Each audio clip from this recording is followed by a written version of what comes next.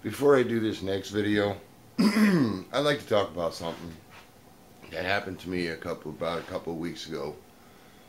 Um, and I know that we all have experienced this at some time, some place in our lives where we have noisy neighbors who bang and slam and everything in the middle of the night. And I have one on that side and one on this side. This one's a real dippy one, okay? I, I don't knock anybody, but I took a real serious mat, matter and I wanted to make fun of it.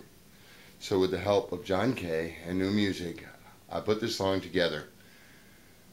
Uh, about two months ago, uh, this one reported me to the office and saying he's smoking too much in, in his house. So they wanted to evict me for smoking in my house, which I didn't. I went outside and I smoked a cigarette.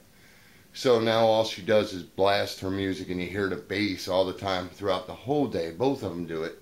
So I wanted to do this song and I wanted to put it together and make fun of it because you know what? There's nothing you can do. You got to learn to get along with your neighbors and all that. But she's really, I mean, she is really dippy.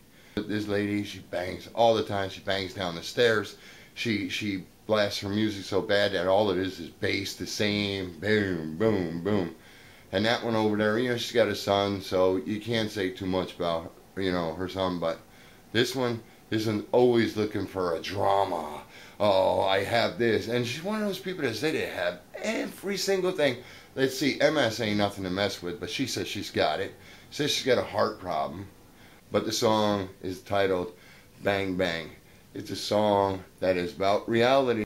Until next time, I hope you enjoyed it. Please leave a uh, uh, comment about your experience with your neighbors. I really like to hear it.